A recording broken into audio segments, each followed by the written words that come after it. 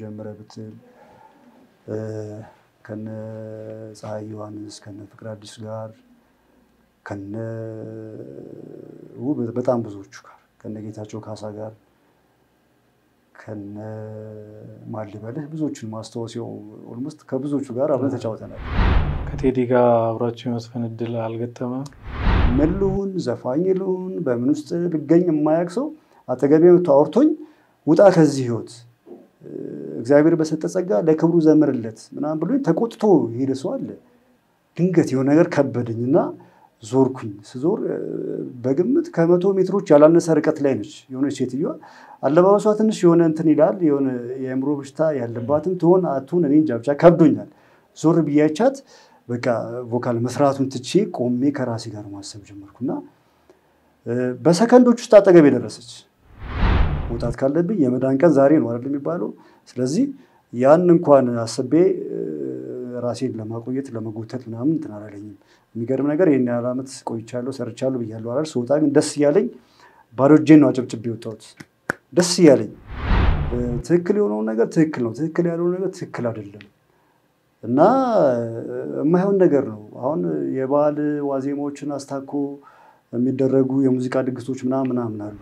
እቺ ሀገር ወዴት እየሄደች ነው ይላል። እቺ ሀገርማ እኛ ወደ እየሄድንበት ወዳለንበት ነው እየሄደች ያለችው። የኛው ስራ የኛው እንትን ነው የኛው ኃጢአት ነው ዳፋው ነው እየታየ ያለው እና ብዙ ነገሮች ተዘጉ። ናይት ክለቦች ዝግ ነበሩ። እኔ ሀገር ውስጥ አልነበርኩም። ስመጣ ያው እንደ የትኛውም ዓለም እዚህም ዝግ ነበር ያለው ነገር ከምንጩ ውሃ ግን ቆራጩ የገበታው ግርማ ሞገስ አኳዲስ በጣም በቃ ከእግዚአብሔር ጋር አምላኪ ይብቃኝ ይብቃኝ በቃ እባክህ ይብቃኝ። አንተ የወደፊት ህይወቴን ታውቃለህ። ከዚህ ህይወት ግን በቃ ከዚህ በላይ መቆየት የለብኝም ብዬ በጣም በጣም ከበፊት ከነበረው ነገርም በላይ እግዚአብሔርን መለመን መጠየቅ ጀመርኩ። አብዛኛውን ጊዜን እኔ አዲስ አበባ የለሁም።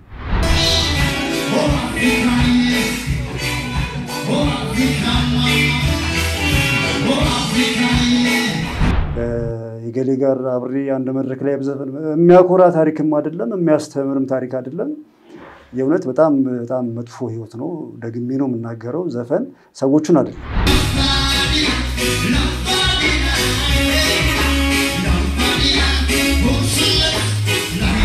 በዚህ ህይወት ውስጥ የማልቆይበትን ነገር አሳይቶ መልስ ሰጥቶኝ ዳግም ሄጄ መስፈን ካላቆምኩ ወደ አዲስ አበባ አልመለስም ብዬ ቆርጬ ሄጄ አዲስ ተስፋ ሞልተሽ አዲስ ሰው አድርጊው።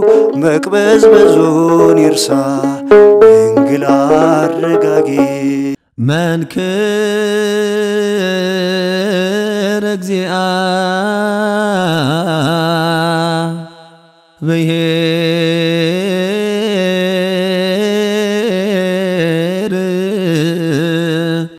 የተወደዳችሁና የተከበራችሁ የመንክር ሚዲያ አድማጭ ተመልካቾቻችን እንደምን ሰነበታችሁ? እንደምን ቆያችሁ?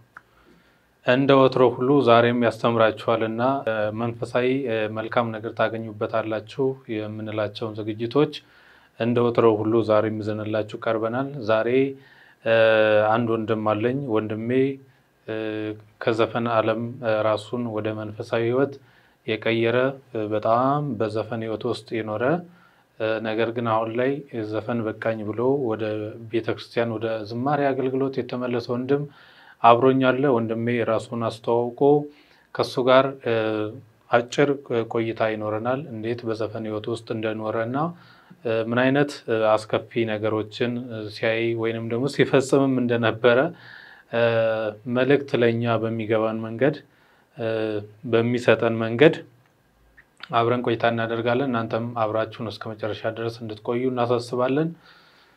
ወንድሜ እንኳን ወደ መንክር ሚዲያ በሰላም መጣ። እንኳን ሰላም ቆያችሁኝ።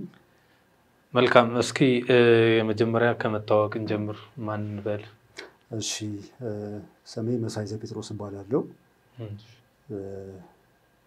ያው እንደነገርከው አንተም እንደገለጽከው ከሙዚቃው ዓለም ነው የመጣሁት። በተረፈ አመሰግናለሁ መንክር ሚዲያን፣ ምክንያቱም ያለፈው ህይወቴ ለሌሎች ትምህርት ይሆናል ብለህ ሌሎችን ለማስተማር ሌሎችን ከጥፋት ጎዳና ይመልሳል ብለህ ይጠቅማል ብለህ እንግዳ አድርገህ ስለጋበዝከኝ መንክር ሚዲያን ሁሉንም ስታፍ አንተንም አመሰግናለሁ። እሺ መልካም። እስኪ እንደው በመጀመሪያ መሳይ አስተዳደጉ እንዴት ነበር? የታደገ በምን አይነት የአስተዳደግ ሁኔታ ውስጥ አደገ? ያው እንደ ማንኛውም ኢትዮጵያዊ እንደ ማንኛውም የኦርቶዶክስ ተዋሕዶ ልጅ በመጠኑ በልጅነታችን የሰንበት ትምህርት ቤት ዘምረን በዛ በዛ መንገድ ትንሽ አልፈናል። እኔ የነበርኩት ወረዳ 25 ድሮ ኮልፌ ከፍሎ ትራፊክ ሰፈር የሚባል ሰፈር አለ። ያው ታውቁታላችሁ።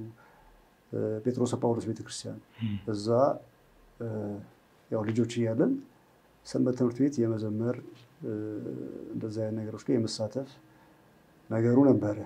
ያው ግን አልቀጠልኩበትም። ለረጅም ዓመት ወጥቼ ያው እንደ ማንኛውም ሰው አለማዊ እንትን ላይ ነበርኩኝ። በዛ መንገድ ሰንበት ትምህርት ቤት ለትንሽ ቀን ቆየን እንጂ ይህን ያህል ገፍቼበት ምናምን ብዙ አልሄድኩበትም። ያው ትንሽዬ ግን የሆነች ነገር እዛ ስለዚህ ወደ ዘፈኑ ከመግባት በፊት በሰንበት ትምህርት ቤት ውስጥ የተወሰነ ጉዞ ተጉዛል። እንዴት ዘፈን ጀመርክ? እንዴ ዘፈን ጀመርክ? በጣም ረጅም ጊዜ ነው እንግዲህ የዛሬ ወደ ከአስራ አምስት ዓመት በፊት ወዳለው ጊዜ ነው መመለስ አቢሲኒያ የቲያትርና የሙዚቃ ክበብ የሚባል አበበ ቢቂላ ስቴዲየም አካባቢ ነበረ። ያው ሰፈሬ ለዛ ቅርብ ስለሆነ ያው ያ ደግሞ እንቅስቃሴ የነበረው እዛ ቀበሌ ክፍለ ከተማ አዳራሽ ውስጥ ነበረ። በአጋጣሚ እነሱ ልጆቹን የማግኘት እድል ነበረኝ። በዛ በዛ በቲያትርና በስነ ጽሁፍ ክለብ ውስጥ ገብቼ ሙዚቃ መጫወት ጀመርኩኝ። እንደዛ እንደዛ እያለ ወደ ክለብ night club የምሽት ክለቦች አካባቢ ሄጄ ወደዛ አካባቢ የመጫወት የመዝፈን ነገር ውስጥ ገባሁኝ። እንደዛ እንደዛ እያለ በነገራችን ላይ በዛ ሰዓት እኔ high school ተማሪ ነበርኩኝ። preparatory የሚባል ያው ten plus one ten plus two እንደዛ እንትን ውስጥ ነበርኩኝ። አልቆየውም። የሚገርም ነገር ወዲያውኑ የነጠላ ዜማዎች ምናምን ድሮ እንደዚህ ነጠላ ዘፈን እንደዚህ ብዙ አልነበረም። ትዝ ብዙ አሁን ረጅም ጊዜ ነው። እዛ በነበርኩበት ሰዓት ነው። ምናልባት እንደውም እኔ high school እያለሁ ዘፋኝ ሆንኩኝ እኔ መጀመሪያውን ልል እችላለሁ። ትዝ የሚለኝ ሰው የለም። high school እያለሁ የራሴን ነጠላ ዜማ ለቅቄ እንዳልኩ ያኔ ቲያትር ክበብ ውስጥ በነበርኩበት ላይ ድምፅ እኮ ቆንጆ ነው፣ ለምን የራስን ዘፈን አታወጣ ምናምን የሚል ነገር ከብዙ ሰዎች እንደዛ አይነት አስተያየት ስለነበረ እዛው እየተጫወትኩኝ ብዙም አምስት ወር ስድስት ወር ምናምን ልምድ ነበረኝ ሙዚቃ ውስጥ ገባሁ የምልበት ጊዜ ማለት ነው። ወዲያው ነው የራሴን ዘፈን ሰርቼ እንትን ያልኩት ያው ሰው ዘንድ ደረሰ ምናምን ትንሽ በጊዜው በነበረው እንትን ጥሩ ተቀባይነት ነበረው ሰው ጋር አድርሶኝ በዛ በዛ ያው የአልበም ስራዎች ምናምን ጀምሬ ናይት ክለቦች ምናምን አካባቢ መጫወት ሀገር ውስጥም ከሀገር ውጭም ወጥቶ የመስራት ነገሩ በዛ በዛ እየቀጠለ ሄደ። ምን የሚል ዘፈን ነበር የሰራው በወቅቱ? በወቅቱ ከሀገር ከኔ ርቀሽ የሚል ከሀገር ከኔ ርቀሽ በሀሳብ እያየኩሽ ሌቱ መስሊ ነጋ ይታወቃል ይታወቃል። በሰዓቱ አሁን ረጅም ጊዜ ስለሆነ ያው የመረሳት ነገር ሊኖር ይችላል እንጂ በጊዜው ላይ ግን እንደነገርኩ ብዙ ነጠላ ዘፈኖች እንደዚህ ብዙ የሚለቀቁበት ሰዓት ስላልነበረ ይታወቅ ነበር። በአካልም አሁን ያለው ያው ያኔ ልጅ ነኝ ገና ሃይስኩል ተማሪ እያለሁ ነው ብያለሁ እና በዛ በዛ ተቀላቀልኩኝ። ያው አዲስ አበባ ውስጥም ያሉ ሀገር ውስጥም ከሀገር ውጭም ዱባይ፣ ሱዳን የሚባሉ እንደዚህ እንደዚህ አይነት ሀገሮች ላይ ሄዶ የመስራት ነገሩ ነበር። እስካሁን በዛ በዛ ነው የቀጠልነው። እንደው አልበም የመስራቱ እድል ነበረ? አልበም ሰርተህ ነበር? ያው አሁን ሚዲያ ላይ የተለቀቁት አየር ላይ ያሉት በ single መልክ የተሰሩ ቪዲዮዎች ናቸው። የአልበም ስራ ግን ነበር፣ ጅምር ስራዎች ነበሩ። almost ያው ሲጠራቀሙ አልበም ይሆናሉ ብዬ በየስቱዲዮ የምሰራቸው የአልበም track ኦች ነበሩ እና መውጣት ሳስብ እነሱን እንኳን እንትን ብዬ እነሱ እንኳን አላሳሱኝ። ምክንያቱም ቀላል አይደለም። ከወጪ አንጻር ብዙ ኮስት ያደርግሃል። ብዙ አመት ነው የሚፈጀው አልበም ስራ ማለት አንድ ስራ ለመስራት ስቱዲዮ አንድ ስራዋን ለመስራት እንኳን ስቱዲዮ ምን ያህል ቀን እንደምትሄድ ያው የሚያውቀው ያውቀዋል። ብዙ ትራኮች ደግሞ ብዙ የዘፈን እንትኖች ደግሞ ቁጥሮች ሲሆኑ ደግሞ ምን ያህል እንደለፈውባቸው ምን ያህል አመት እንደፈጁ ምናምን ያው እናውቀዋለን እና ያ እንኳን አላሳሳኝም። ምክንያቱም በቃ ቢያንስ ገብቻለሁ ያባከንኩት እድሜ ያለ ቢያንስ እንኳን ይህን ጨርሼ ልውጣ የሚል እንኳን ነገር አላሰብኩም። መውጣት ካለብኝ የመዳን ቀን ዛሬ ነው አይደል የሚባለው። ስለዚህ ያን እንኳን አስቤ ራሴን ለማቆየት ለመጎተት ምናምን እንትን አላለኝም።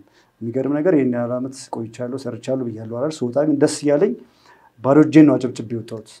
ደስ እያለኝ ባዶ እጄን ከሙዚቃ ሕይወት ውስጥ በነበርኩበት በዚህን ያህል ዓመት ተጠ- ተጠቅሜያለሁ፣ ይህን አፍርቻለሁ፣ ይሄ ነገር አለኝ ብዬ የምጽናናበት ነገር እንኳን አሁን ላይ እያየሁት at least በነበረኝ ጊዜ ላይ ይሄ ነገር አለኝ፣ ይሄን ነገር አግኝቻለሁ ምናምን ባዶ እጄን ደስ እያለኝ አጨብጭቤ ሰላሜን፣ እርካታዬን፣ የህሊና እረፍቴን ፈልጌ ደግሞ ያለው ባዶ እጄ አጨብጭቤ ነው የወጣሁት እና ያለውም ስራዎችም ነበሩ። እነሱ እነሱን ሁላ ትቼ መስማትም አልፈልግም።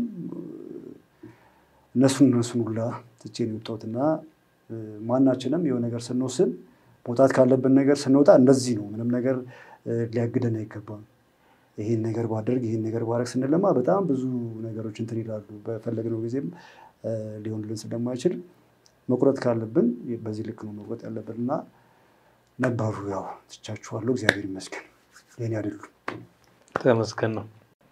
እንደው እንደዚህ በዘፈን ህይወት ውስጥ ስትኖር ብዙ በዚህ በዘፈንና እንደዚህ መሰል ሙያ ነክ ነገሮች ላይ የሚኖሩ ሰዎች ከሙያው ባሻገር ደግሞ እንደዚህ ስነ ምግባራዊ ጉድለት ያላቸው ስራዎችም የሚሰሩ አሉ።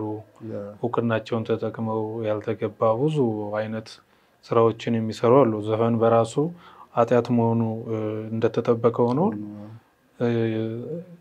ከዛ ባሻገር ደግሞ ሌሎች ለምሳሌ በትወና ውስጥ ብንሄድ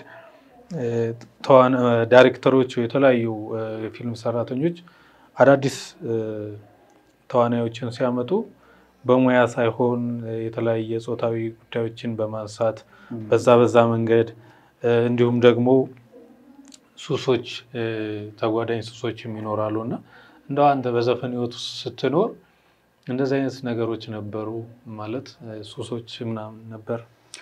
አዎ አለ ያልከው ነገር አሁን ያልከው ነገር በደንብ የሚታይ ነገር ነው አለ በሙያ ባለው ብቃት ምናምን ሳይሆን እንዳልከው የትኛውም ቦታ ላይ እንደሚታየው ይሄ ሴትነትን ተገን አድርጎ በዛ በዛ መንገድ የሚፈለጉ በዛ መንገድ እንትን የማለቱ ነገር አለ። እንዳልከው ዘፈን ኃጢአት ነው። በቃ ይሄ ምንም ማመቻመች የሚያስፈልገው ነገር አይደለም። ዘፈን ዘፈን ኃጢአት ነው። እሱ እንዳለ ሆኖ ግን እዛ ውስጥ ደግሞ የምታያቸው በጣም ብዙ ደስ የማይሉ ነገሮች፣ ጥሩ ያሉ ነገሮች አሉ።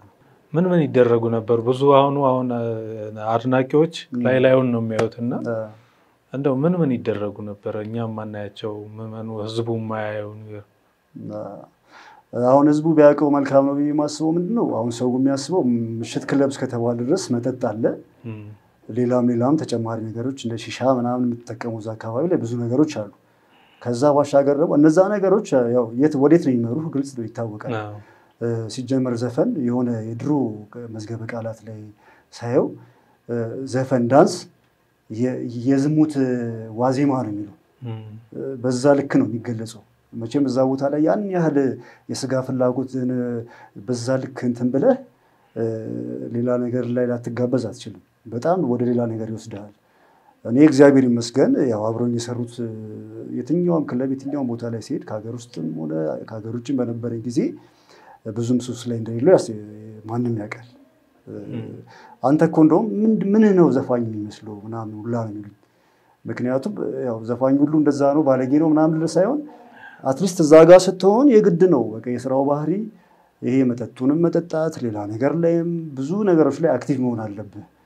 እኔ እንግዲህ እግዚአብሔር ከዛ ከዛ ነገር አንጻር በጣም ረድቶኛል። የዚህን ያህል ዓመት ስቆይ ብዙም አልነበርኩበትም እንደዚህ ያለ ነገር ላይ ያው ይጋብዝሃል፣ ይገፋፋል ሁሉ ነገር እዛ ጋር ያለውን ነገር መምሰል አለብህ። ካልመሰልክ ደግሞ በዘፈኑ ዓለም ዝም ብለህ መዝፈን ብቻ አይደለም ብዙ ነገሮች ላይ ተሳትፎ ማድረግ አለብህ። ተፈላጊነትን በዛ ልክ ነው እንትን የሚለው የተለያዩ night ክለቦች ፈልገው እንድትሰራ ጥቅም እንድታገኝ ካለው ነገር ጀምሮ አልበም ለመስራት promo- promoter ኦች የሚፈልጉ ምናምን ያው ያለህን activity አይተው ነው። እንደዚህ አይነት ነገሮች ላይ ብዙ ቁጥብ ከሆንክ ያው ብዙም እንትን አትልም። እኔ ግን ለዛ ነገር ብዙም አልጨነቅም፣ አልፈልገውም ነበር። ነፍሴ የምትፈልገውን ነበር ያኔም የነፍስን- የነፍሴን ጥሪ ነበር። ይገርማቸዋል። እንደውም አንተ እኮ ባለቤቶቹም staff ኦቹም ብዙ ነገሮች ይሉኝ ነበር። ምክንያቱም እንደዚህ አይነት ነገር ላይ ብዙ ስለማልገኝ እግዚአብሔር ይመስገን ያው ለዚህ ቀን ሲያስበኝ ይሆናል ብዬ ነው ማስበው። በዛ ሰዓት ከእንደዛ ነገሮች የተጠበቅኩት ዛሬን ለዚህ ቀን ሊያበቃኝ ስላሰበ ይሆናል አምላክ እንጂ እኔ በሰውነቴ ወይ ጎበዝ ሆኜ በእኔ አቅም፣ በእኔ ጥበብ፣ በእኔ ማስተዋል አይመስለኝም። እና ብዙ ደስ የማይሉ ነገሮች አሉ። እንደው በወቅቱ እንደው ዘፈን ውስጥ በነበርክ ሰዓት አይምራዊ እርካታና ሰላሙ ምን ነበረ? እንዴት ምን ይሰማ ነበረ? አልነበረም። እርካታ በፍጹም አልነበረኝም። የምር አሁን እዛ ጋ የምታገኘው ገንዘብ የምታገኘው ያው ታያለህ፣ አንዳንድ ቪዲዮዎች ላይም social media ላይ ታያለህ። ብር ይረጫል፣ ገንዘብ ይረጫል። እዛ ጋ ከገንዘብ አንጻር ምንም የምታጣው ነገር የለም። ብዙ ብዙ ነገር ታገኛለህ። ግን እኔ የምር ምንም አይነት ሰላም ኖሮኝ አያውቅም። እንደነገርኩ ባህሪም ትንሽ ለእንደዚህ አይነት ነገር የፈተነም ስላልሆነ ሁሌ ገብቼ ሰርቼ ገብቼ እንግዲህ ያው ሌሊት ነው የምትወጣው። አመሻሽ ላይ ሶስት ሰዓትም አራት ሰዓትም ወደ ስራ ትገባለህ። ሌሊት አስር ሰዓት ምናምን ትወጣለህ። እቤት ከገባው በኋላ የምር ተኝቼ ከህሊኔ ጋር በጣም ነበር የምናገረው። ሰላም የሚባል ነገር የለውም። የምር ሲጀመር እዛ ክለብ የሚመጣው ሰው ራሱ ሰላም ኑሮት አይደለም የሚመጣው። ብዙ ነገሮችን ለመርሳት ነው። ብዙ ነገሮች ከህሊናው የሚጋጭበት ከራሱ ጋር የሚላተምበት ብዙ ነገር ስላለ ነው። ያንን ነገር ለመርሳት ከዛ ነገር ለመውጣት ነው። እዛ ጋር ብዙ ሰዎችን እናያለን። ገንዘብ ይረጫል። ሊሆን የተደከመበት የተለፋበት የላብ የወዝህ የማይመስል አይነት ነገር ነው እና እኛ ጋም ሲመጣ ያ ገንዘብ በተሳሳተ መንገድ ስለሆነ የሚመጣው ምንም በረከት ኑሮህ ጥሩ ነገር አታደርግበትም፣ አትደሰትበትም። ህይወትንም እንደው በተባረከ እግዚአብሔር በፈቀደው መንገድ የምታደርገውን ነገር አድርገህ አትመራበትም።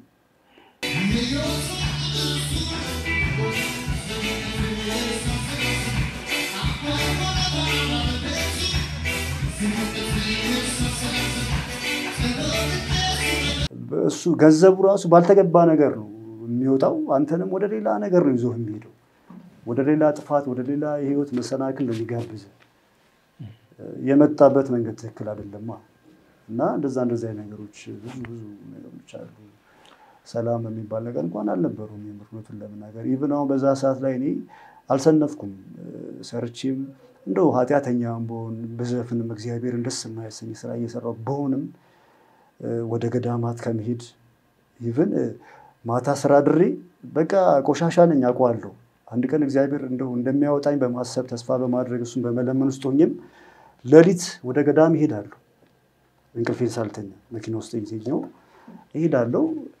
ስመጣ ግን በቃ ዛሬም ልዘፍን ነው ነው ብሎ እንደዛ የተቀደሰ የተባረከ ቦታ ላይ ሄጄ ውዬ ስንት ነገር ራሴን አስተምሬ ብዙ ነገር ራሴን መንፈሴን አድሼ መጣና ዛሬም ልገባ ነው የግድ ነው በቃ አላሉኝ። የዛን ያለው ሰላም እንኳን የሌለው የዛን ያለው ብዙ ብዙ በጣም እንደው እስኪ የት የት ዘፍነህ ታውቃለህ? ከሀገር ውስጥም ከሀገር ውጭም? አዲስ አበባ ውስጥ በጣም ብዙ ክለቦችን ዘፍኛለሁ። የሚገርም ነገር እንደው እንደሰራሁት ክለብ ብዛትና እንደቆየሁበት ዓመት ብዙ ሰው አያውቀኝም። እግዚአብሔር ይመስገን ደስ ይለኛል። ያን ነገር በጣም ወደዋለሁ። ምክንያቱም መጥፊያ ለሰው መጥፊያ ጥሩ መጥፎ ነገር የማስተምር ሰው ባለመሆኔ አሁን ዛሬ ላይ ማን ነው እኔን አሁን እንደዚህ ከዘፈን ዓለም ውስጥ ነበርኩ የዚህን ያህል አስራ አምስት ዓመት ምናምን የዛን ያህል ቆይቻለሁ ስል የሚያቀኝ በእርግጠኝነት በጣም ትንሽ ሰው ነው። አደለም audience ኡ አደለም night club የሚመጣው ሰው ሙዚቀኞቹ ራሱ ብዙ አያውቁኝም። በጣም የሚገርምኝ እና በተለያየ ሰዓት ላይ ዛሬ ከአንዱ ባንድ ጋር ትሰራለህ፣ በሌላ አጋጣሚ ሌላ ቤት ደግሞ ከሌላ ባንድ ጋር ነው የምትሰራው እና ያለኝን ነገር ካዩ በኋላ እንዴት በዚህ ልክ መስራት እየቻልክ እንዴት ነው ማንን ተዋውቀው እስካሁን ድረስ እንዴት ነው እስከዛሬ ያልተገናኘ ነው የሚሉኝ ብዙ ብዙዎች ሙዚቀኞች፣ ዘፋኞች፣ የ night club staff ኦች ብዙ ናቸው። አልታወቅም፣ ግን ብዙ ብዙ ክለቦችን ሰርቻለሁ። ያው ስማቸው መጥቀስ አያስፈልግም እንጂ ሮሃ የሚባል ክለብ ብዙ ዓመት የሰራሁበት ክለብ ነው።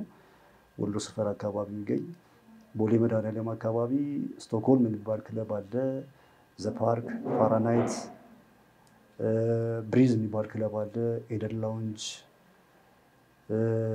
ሜዳ ባር፣ ግራቪቲ ብዙ ናቸው። ከሀገር የመዝበት የመውጣት ከሀገር ውጭ የመውጣቱ ነገር ነበረ። ያው ብዙ ጊዜ የምንወጣው ወደ አረብ ሀገር ነው፣ ወደ ዱባይ እንደዚህ ሄዶ የመስራት እድሉ የተወሰነ ጊዜ መቆየት እድሉ ነበረኝ። እዚሁ ጎረቤት ሱዳን፣ እንደዛ እንደዛ ነገሮችን ያው ገባ ወጣ እያልክ ነው የምትሰራው። የሆነ ያህል ጊዜ ትቆያለህ። አመትም ስድስት ወርም እዛ ሆነ በኮንትራት ነው የምትሰራው። ቆይተህ ትመጣለህ። የተወሰነ ጊዜ ደግሞ እዚህ ካሳለፍኩ በኋላ በሌላ ዙር ደግሞ እንደዚህ የሚሄዱ ነገር አለ። በዛ በዛ መልኩ አልፏል ያ ነገር እግዚአብሔር ይመስገን። እንዲህ በዘፈን እንቅስቃሴ ውስጥ በተለይ ከሀገር ውስጥም ከሀገር ውጭም ስትንቀሳቀስ ከትላልቅ እ፣ ብዙሃኑ ከሚያውቋቸው ዘፋኞች ጋር የመስፈን እድል ነበረክ? ማለት ብዙዎቹ ጋር አብሬ ሰርቻለሁ ማለት እችላለሁ። በተለይ እዚህ ሀገር ውስጥ ከትልልቆቹ ጀምረ ብትል ከነ ፀሐይ ዮሐንስ ከነ ፍቅር አዲስ ጋር ከነ በጣም ብዙዎቹ ጋር ከነ ጌታቸው ካሳ ጋር ከነ ማን ልበልህ ብዙዎቹን ማስታወስ Almost ከብዙዎቹ ጋር አብረን ተጫውተናል። በቋሚነት day to day ከኛ ጋር አይሰሩ ይሆናል እንጂ እነሱ ተጋብዘው የሚመጡበት ቀን አለ። በሳምንት ውስጥ ሁለት ቀንም ምንም ሊሆን ይችላል።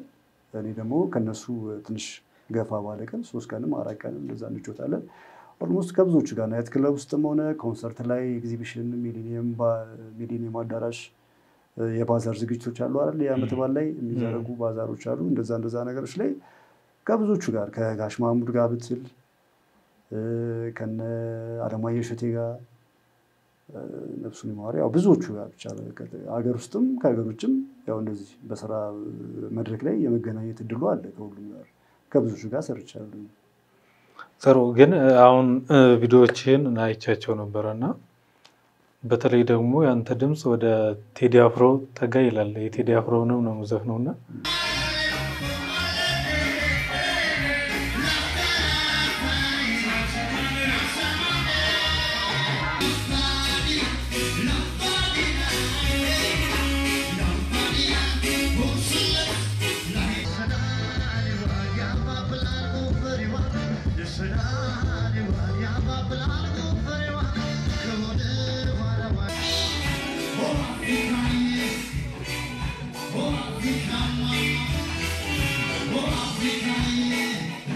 ከቴዲ ጋር አብራቸው የመስፈን እድል አልገጠመም? ከእሱ ጋር አብረን የመስራት እድል አላገኘንም። መጥቶ ግን የምጫወትበት ክለብ አንዴ ሮሃ የሚባል ክለብ እያለው እ፣ ጠርተውኝ እንደውም በዛ ሰዓት የሆነ ቦታ ሄጄ ምንድን ነበር እረፍት ነበርኩ ምናምን ብቻ አላውቅም። ተጠርቼ መጥቼ እሱ እንደ እንግዳ ሆኖ መጥቶ መጥቼ ምናምን ሰርቼ ያኔ አይቶኝ ተዋውቀናል ምናምን አይነት ነገር እንጂ አንድ መድረክ ላይ የመጫወት እድሉ የለንም። ከብዙሃኑ ተገናኝተሃል፣ ከትላልቆች ጋር ተገናኝተሃል። እንደው ግን በዚህ በዘፈን ህይወት ውስጥ እንደው ከመውጣቴ በፊት ከከሌ ጋር ዘፍኜ ቢሆን ኖሮ ደስ ይለኝ ነበረ።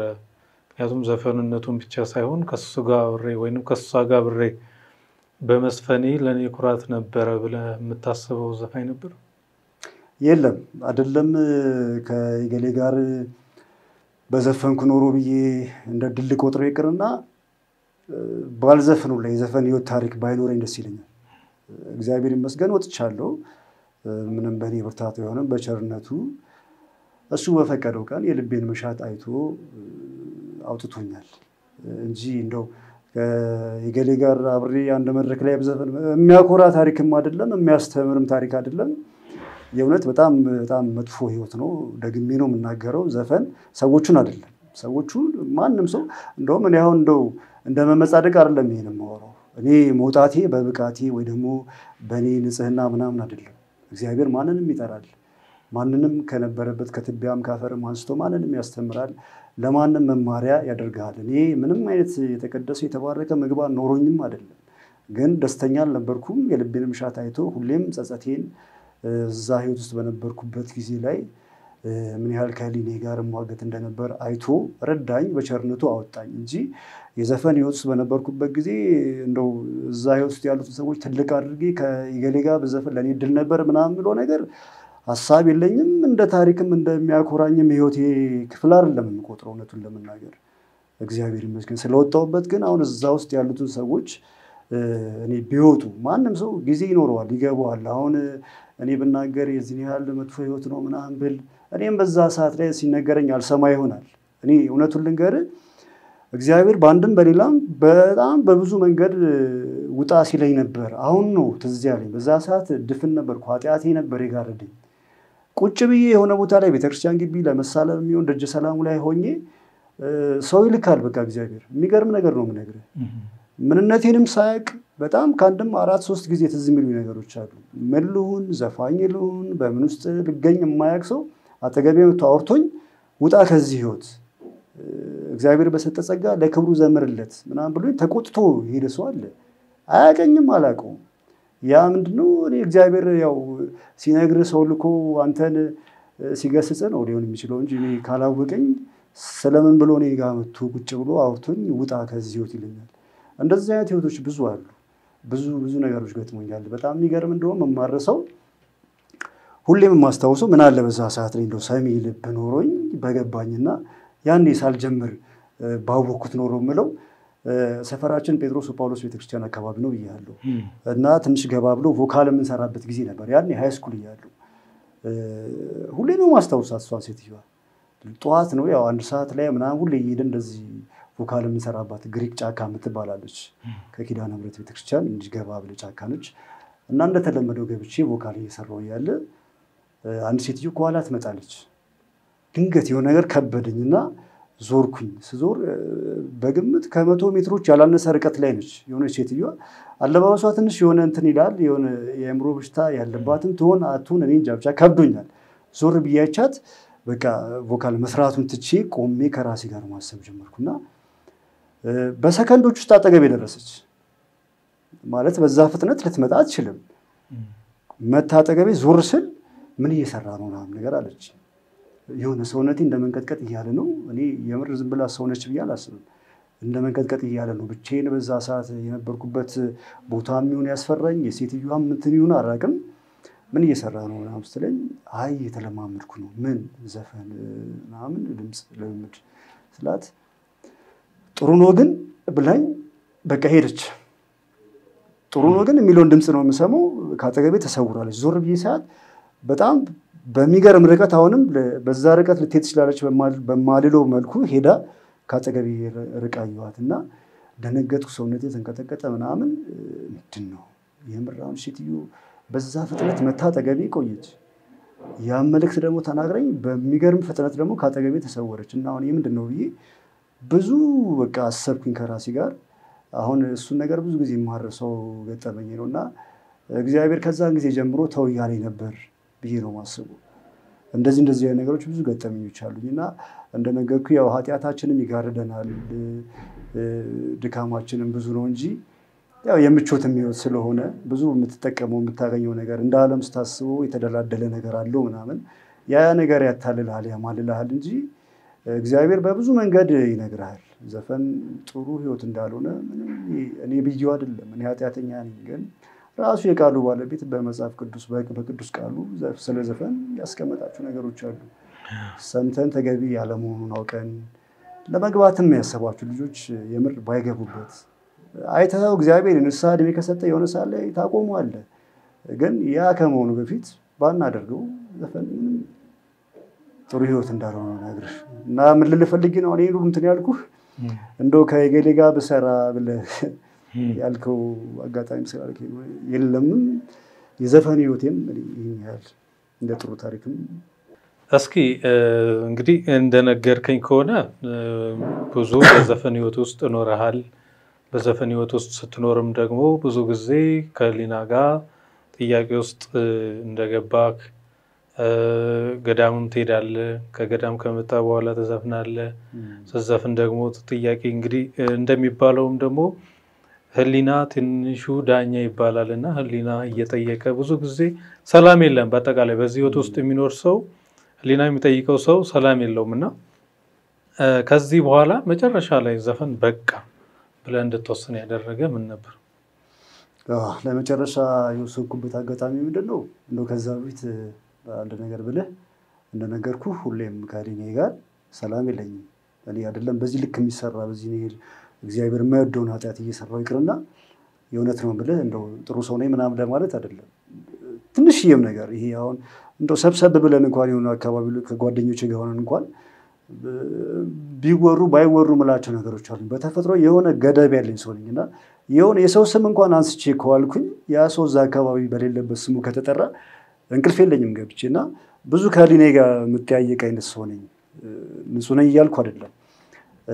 ግን አሁን ይሄ ነገር እስከ መቼ ነው የሚቀጥለው አምላኬ እያልኩ ሁሌ በዚህ በዘፈኑ ውስጥ ያለኝ ነገር መቼ ነው ማብቂያው? ምንድን ነው አንደኛ ለዚህ ስራ እኔ የተሰጠውም ሰው አይደለሁም ምቹም አይደለሁም እና ምንድን ነው ማብቂያው እያልኩ ሁሌም ከህሊኔ ጋር አወራ ነበር።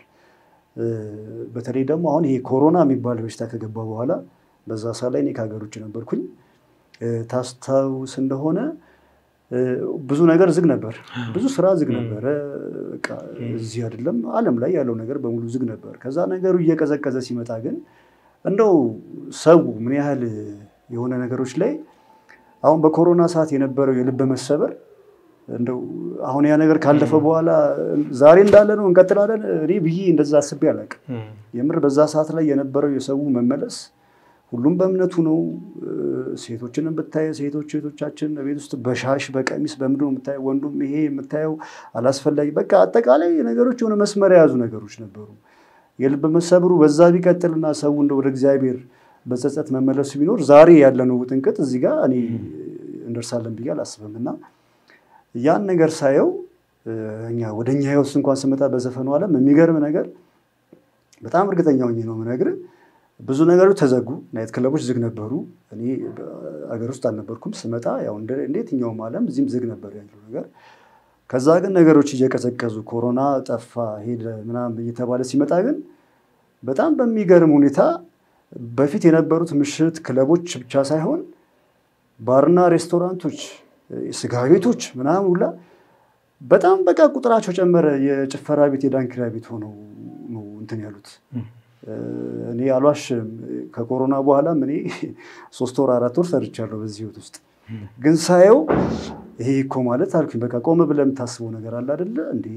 ይሄ እኮ ማለት አሁን በዛ ሰዓት ላይ ሁሉም ሰው እንደዛ ወደ እግዚአብሔር ተመልሶ የነበረው ነገር አሁን ደግሞ ልክ ይሄ ምንድነው ታሞ የተነሳ እግዚአብሔር ረሳ እንደሚባለው ያ ጊዜ አለፈልን ብለን ደግሞ አሁን እኮ በቃ ወደ ዳንኪራ ወደ ጭፈራ ነው በቃ ሁሉ ነገር ስታየው አስረሽ ምቹ ነው። እንደዛ ሲሆን ስታይ ጭራሽ ደግሞ ያለሁበት ነገር በቃ የዚህ ያህል ስህተት ነው ብዬ በጣም በቃ ከእግዚአብሔር ጋር አምላኪ ይብቃኝ ይብቃኝ በቃ እባክህ ይብቃኝ። አንተ የወደፊት ህይወቴን ታውቃለህ። ከዚህ ህይወት ግን በቃ ከዚህ በላይ መቆየት የለብኝም ብዬ በጣም በጣም ከበፊት ከነበረው ነገርም በላይ እግዚአብሔርን መለመን መጠየቅ ጀመርኩ። አብዛኛውን ጊዜን እኔ አዲስ አበባ የለሁም አልናገርም። ተነስቼ በጠዋት የሆነ ገዳም ነኝ የሆነ ገዳም ነኝ። ጓደኞቼ ማታ አምሽተን አብረን እራት ልንበላ እንችላለን። አያውቁም። ጠዋት ግን ልሄድ ነው አልልም። ጠዋት ላይ የሆነ የት ነህ ምናምን ሲደወል እንትን ሄጃለሁ የለውም።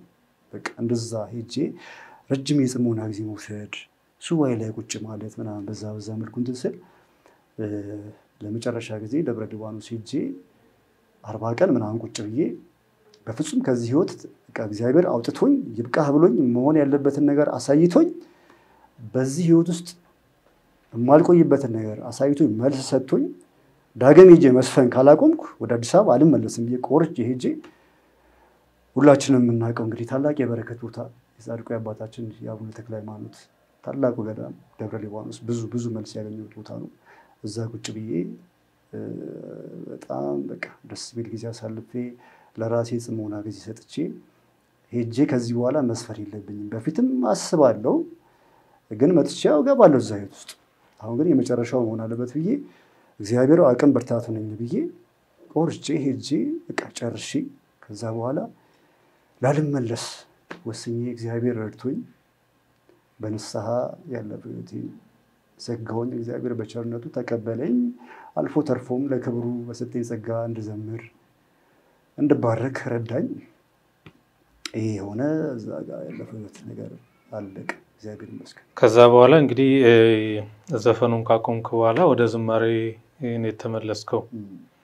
ብዙ ጊዜ አሁን እዚህ ጋር እኛ ቤተክርስቲያን መምህራን የሚያነሱ ጥያቄዎች አሉና በዘፈን ህይወት ውስጥ ያሉ ሰዎች ወደ ዝማሬ አገልግሎት መመለሳቸው በአስተሳሰብ እይታ ሲታይ መልካም ነው። ግን ሮጠው ወደ መዝሙር መስራት፣ ወደ መዝሙር አልበም መስራት፣ ወደ ዝማሬ አገልግሎት ቶሎ መግባታቸው ስህተት ነው የሚሉ አሉ። እንደ ምሳሌም ደግሞ እንደ ነዘርፌን ምክንያት ያደርጋሉ። ምክንያቱም ሰዎች በገባቸውና ባወቁት ልክ ሲጓዙ ነገ ለሚመጣው ፈተናም ለመቋቋም ያስችላቸዋል የሚል እምነት ስላለ ልክ ከዘፈኑ ወጥተህ ወደ ዝማሬው ስትመጣ ንስሐ ምኑ ምኑ እንዳለ ሆኖ እንደው ነገ ላለመውጣት የሚያስችል ትምህርቶችን አግኝተሃል? እውነት ነው። በጣም ወሳኝ ጥያቄ ነው። በጣም ትክክለኛም ነገር ነው። እንዳልከው አንዳንዴ እኮ ብዙ ሳታስብበትም እንዲሁ በመፈለግና በስሜታዊነትም የምትገባበት ነገር አለ። አሁን እኔ እንደነገሩ ከረጅም ጊዜ ጀምሮ ከዓመታት ጀምሮ ነው እንደው ድንገት ተነስቼ ከዚህ ህይወት መውጣት አለብኝ ብዬ ወጥቼ አይደለም። እንደነገርኩ በእኔ መብቃትም በእኔ ማስተዋልም አይደለም። ግን አልፈልግም ብዬ ከውስጤ ጋር እነጋገር የነበረው የዓመታት ጉዳይ ነው። ከ- ከዓመታት ጀምሮ አስብ የነበረው ነገር ነው መውጣትን መቼ እንደምወጣ እንደው እግዚአብሔር ረድቶኝ መቼ እንደማቆም አላውቀውም እንጂ እንደው መፈለጉን መውጣት መፈለጉን የብዙ ዓመት process ነው።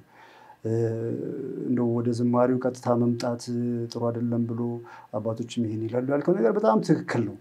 እኔ የሚገርም ነገር አሁን እግዚአብሔር ፈቅዶ እንደው የአቅሜን ነገር ዘመርኩ አይደለ በሰጠኝ ጸጋ እሱን ማከብር እንኳንስ እሱ ስሙን ማክበር ስሙን ማወደስ ይቅርና እኮ ባልተፈቀደልኝም መንገድ ሄጄ ለረጅም ዓመት ዘፈንኩኝ፣ አሳዘንኩኝ እኮ አይደል። ግን አሁን ያ ነገር ምንድን ነው ቢያንስ ቢያንስ ለእኔ አሁን በፊት እንደው የጎደፈውን አንደበቴን እንደው ላልተሰጠኝ ነገር የተጠቀምኩበትን አንደበት ለዝማሬ መዋሉ ለእኔ በጣም ትልቅ ሰላም ነው። ግን አሁን መውጣት ስለወጣህ የግድ መዘመር አለብህ ማለት አይደለም። የሚገርም ነገር እኔ አልደፍርም። አሁን ገዳም እንኳን ሲሄድ አሁን የሆኑ ነገሮች የምናውቃቸው የተለመዱ ህግጋቶች አሉ ገዳም ላይ። አንዱ ገዳም ያለው ህግ ሌላ ቦታ ደግሞ ግዝት ሊሆን ይችላል። የተፈቀደ እዚህ ጋር የተፈቀደ ሌላ ጋር ደግሞ ላይፈቀድ ይችላል ብዬ እንኳን ብዙ ነገሮችን እዛ የማውቀው ነገር ነው እዚህ ማድረጓለሁ ብዬ አልልም። በጣም የምጠይቅ በጣም በጥያቄ የማሰለች አይነት ሰው ነኝ እና ለመዘመር ዝም ብዬ እንትን አላልኩም። አምላኬ ሆይ እኔ የምር እኔ ብቁ ነኝ ልዘምርልህ እችላለሁ። እንደው ስምህን ባመሰግን ከዚህ ህይወት ስላወጣኸኝ ስምህን ባወድስ ብዘምርልህ እችላለሁ። እኔ እንደው ንጹሕ ባልሆንም እችላለሁ ትፈቅዳለህ ብዬ ብዙ ጠይቄያለሁ። እውነቱን ለመናገር እውነት በዚህ ጉዳይ እንኳን እንደው በጣም በነበረኝ ጊዜ ደብረ ሊባኖስ ቁጭ ብዬ ረጅም ለአርባ ቀን ምናምን ያህል በነበረኝ ጊዜ የሚሆን ከዛ በፊትም በነበረው ጊዜ ከዚህ ህይወት ውስጥ አውጣኝ፣ በቃ መውጣት ፈልጋለሁ እላለሁ። ግን መዘመሩ አለመዘመሩ እጽፋለሁ። የሚገርም ያው እኔ ምንም እውቀት ኖሮኝ አይደለም። ዜማ ትንሽ ያው እንደ ማንኛውም የመዝሙሮች እንትን በዛ መንገድ ዜማዎችን አዘጋጃለሁ።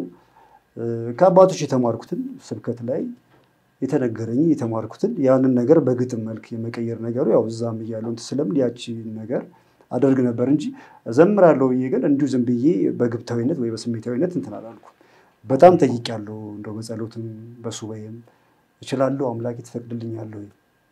ከፈቀድክና ፍቃድ ከሆነ ለስምህ መዘመር እኔ ብቁ ከሆንኩኝና አንተ ፍቃድ ከሆነ እንድዘምር አድርገኝ። እንደው ኃጢአተኛም ኃጢአቴ ያው የማይለካ ነው። ምንም መለኪያም ወሰንም የለውም። ግን እንደው ለስምህ መዘመር ለስምህ መቀኘትን አንተ ካልፈቀድክልኝ እንዳላደርገው አንተ ከልክለኝ ብዬ ብዙ እንትን ብያለሁ እና በዛ ልክ ነው እንጂ እንትን ያልኩት እንዲህ ዝም ብዬም ቸኩዬም አልገባሁም። እስኪ እንግዲህ ወደ ዝማሬው አገልግሎት ከመጣ አይቀር ለአድማጮቻችን አንድ ዝማሬ እሺ ልብስ መልበስ ታውቅበታለህ። አላውቅበትም። አለባበስ መምረጥ ችለሻል። አልችልም። እ ምን ሆናችኋል? አምሮባሃል፣ ችለሻል። እኛ አይደለንማ። እና ማን ነው? ፍቅር ዲዛይን ነው። ዱባይ ላይ ይገኛል። ስለ ሀበሻ ልብስ ይችላል። ፍቅር ዲዛይን መነን ሰፊ፣ ሽፎን ሰፊ፣ የእጅ ጠላፊ የሽመና ባለሙያዎችና ዲዛይነሮች ዱባይ ገብተዋል። ከትመዋል። ስትለብሺ ካማረብሽ ስትለብስ ካሳመረ እሱ ፍቅር ዲዛይን ነው። ዱባይ የሽያጭ ሰራተኞቻችን ዱባይ ላይ የእናንተን ትዕዛዝ ያስተናግዳሉ። ከመላው ዓለም የሀበሻ ልብስና ሽፎን ቢያዙ በሰባት ቀን እጆ ይገባል። ቢሰፋዎ ወይ ቢጠብዎ ተስተካክሎ በሰባት ቀን ውስጥ በልኮ ይደርሶታል። ዱባይ ለምትኖሩ ሱቃችን ቢመጡ ሽፎን በአንድ ሰዓት ኦንላይን ቢያዙ በነፃ delivery በ16 ሰዓት። የሀበሻ ቀሚስ በሶስት ቀን። ለልኮና ለውበቶ እንጠነቀቃለን። ፍቅር ዲዛይን በመላው ዓለም ያላችሁ ባለሱቆች የሀበሻ ልብስና ሽፎን ተረክባችሁ መሸጥ ካሰባችሁ ተመስጋኝም አትራፊም ትሆናላችሁ። አድራሻችን ዱባይ አጅማን ነሂሚያ ታወር ፊት ለፊት የራሳችንን application ከ Play Store ፍቅር ዲዛይን ብላችሁ አውርዱ። በኢንስታግራም፣ በፌስቡክ፣ በቲክቶክ እና በ website ላይ እንገኛለን። ለልኮና ለውበቶ እንጠነቀቃለን። ፍቅር ዲዛይን ዱባይ አጅማን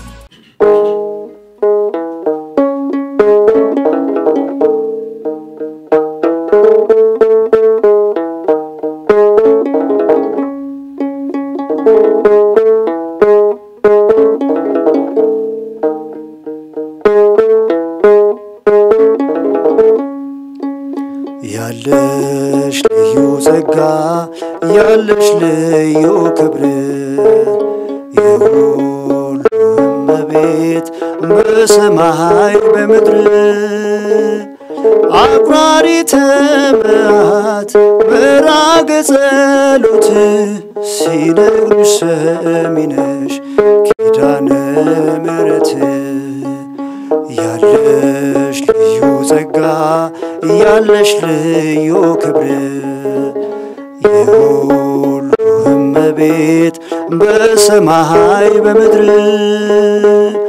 አቁራሪተ መዓት ራገ ጸሎት ሲነግሩሽ ሰሚነሽ ኪዳነ ምሕረት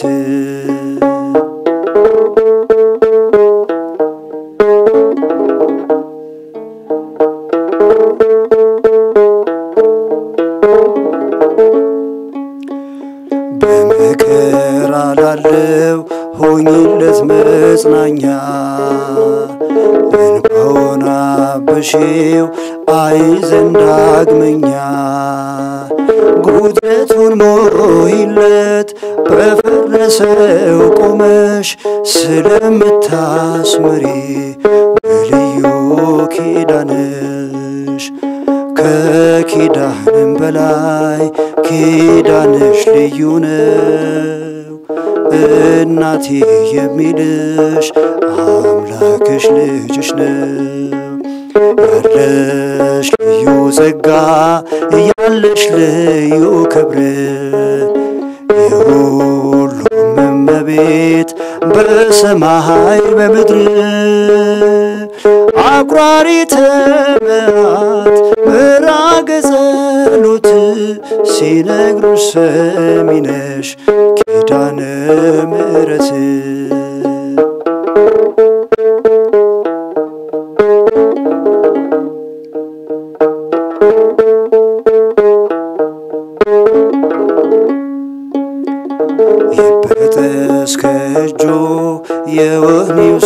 ሰንሰለት የሞቱ ደብዳቤ ይቀየር በሕይወት አዲስ ተስፋ ሞልተሽ አዲስ ሰው አድርጊው።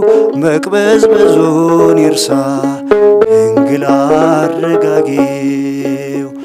ከኪዳንም በላይ ኪዳንሽ ልዩ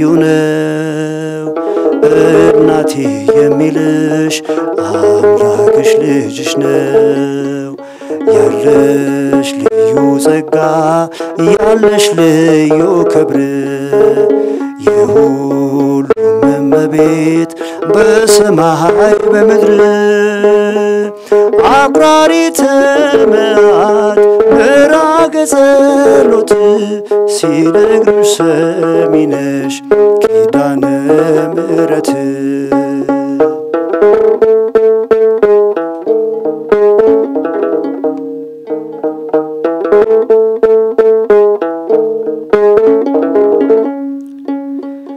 በእንባ የመጣው ይመለስ በደስታ ይሞላ በርካታ ስለቱ ሰምሮለት ይቁም ለምስጋና የአብራኩን ክፋይ አሳቅፊውና ከኪዳንም በላይ ኪዳንሽ ልዩ ነው። እናቴ የሚልሽ አምላክሽ ልጅሽ ነው። ልዩ ጸጋ ያለሽ ልዩ ክብር።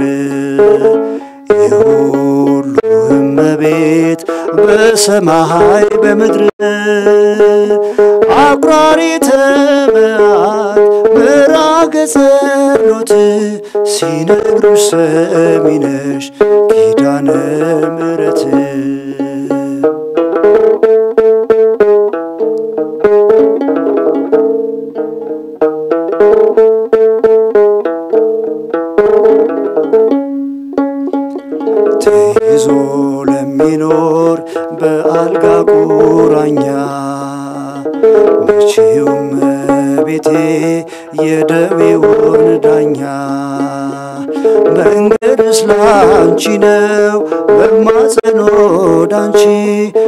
ተስፋን ለምትቀጥይ ህልምን ለምትፈቺ ከኪዳንም በላይ ኪዳንሽ ልዩ ነው።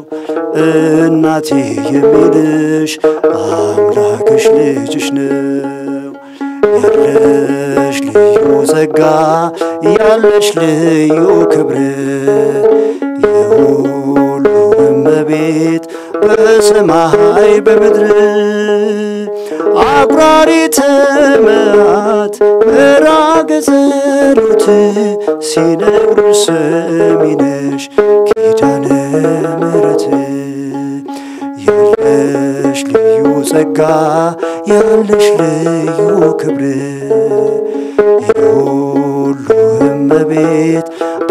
በሰማይ በምድር አኩራሪተ መዓት ምዕራገ ጸሎት ሲነግሩሽ ሰሚነሽ ኪዳነ ምሕረት።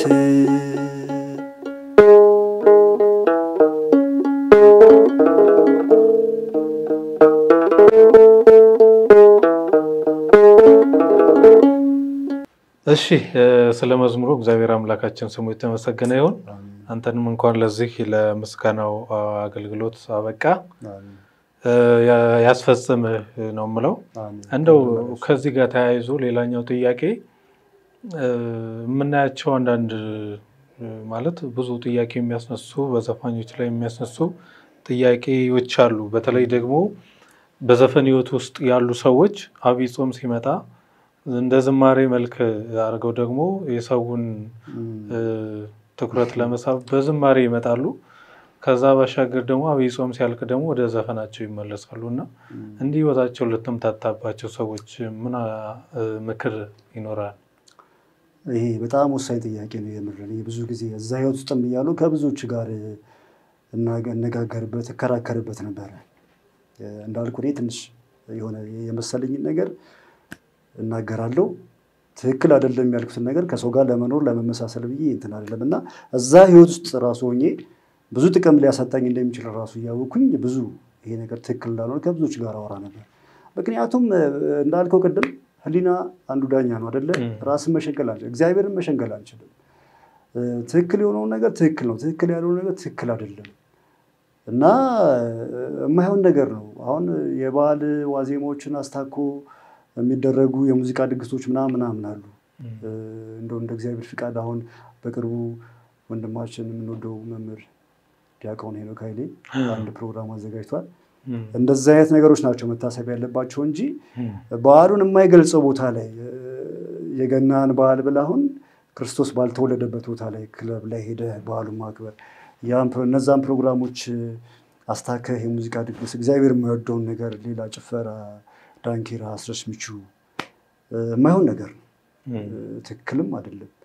እኔ ሌላው እንደው አሁንም በጣም ከታላቅ ይቅርታ ጋር የኔ ሀሳቤን ነው የምናገረው። እኔ በፍጹም ወንድማዊነት ነው የምናገረው። እንደው እኔ አሁን ከዛ ህይወት ስለወጣሁኝ ሌሎች ወንድሞች ሌሎች የማውቃቸው በፊት የስራ ባልደረቦች እዛው መኖራቸው ምናምን ከግምት ውስጥ አስገባለሁ። ግን እኔ ስራውን ዘፈን የሚለውን ነገር ነው በትክክል መጽሐፍ ቅዱስ ላይ የተጻፈ ነገር ነው እና ጥሩ እንዳልሆነ አሁንም እናገራለሁ።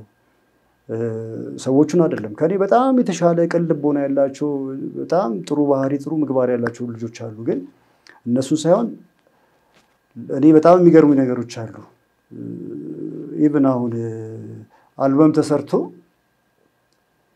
አልበሙን የሰራው አርቲስት ይህን አልበም ሰርቼ በጥሩ ሁኔታ እንዳጠናቀቅ የረዳኝ እግዚአብሔር ይመስገን። ምን ማለት ነው? እኔ አሁን እዛውኝ ራሱ ከብዙዎች ጋር እከራከርበት ነበር። ይሄ ማለት እኮ ሌላም ኃጢአት ስንሰራ ስንሰርቅም እንድሰርቅ የረዳኝን እግዚአብሔርን አመሰግናለሁ። ስንዘሙትም ይህን ጥፋት እንድሰራ ያደረገኝን እግዚአብሔርን አመሰግናለሁ እንደማለት እኮ ነው።